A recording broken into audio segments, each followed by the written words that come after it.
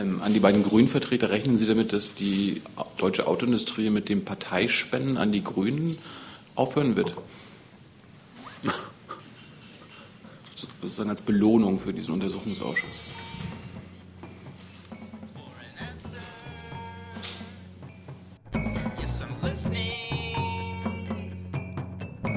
Unsere Sorge ist, dass die Konzerne so enden wie E.ON und RWE, die über Jahre gesagt haben, sie haben ein gutes Projekt, Atomkraftwerke, Kohlekraftwerke, die werden sie weiter optimieren. So sagt unsere Autoindustrie, sie hat ein gutes äh, Produkt, den Dieselmotor, den Verbrennungsmotor, den wollen sie weiter optimieren.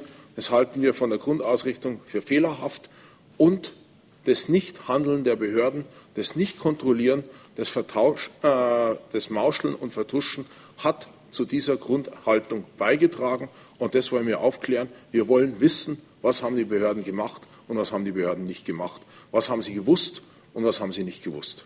Herr Jung. Ähm, an die beiden Grünen-Vertreter rechnen Sie damit, dass die deutsche Autoindustrie mit dem Parteispenden an die Grünen aufhören wird? Sozusagen als Belohnung für diesen Untersuchungsausschuss.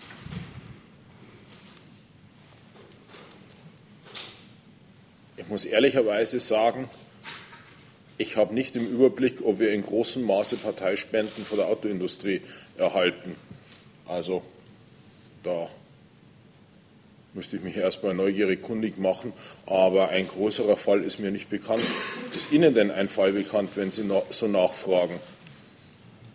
Ich glaube schon. Ich, ich, ich, könnte ja mal nachgucken, aber ich glaube, nur die, die Linken bekommen keine Spenden von der Autoindustrie.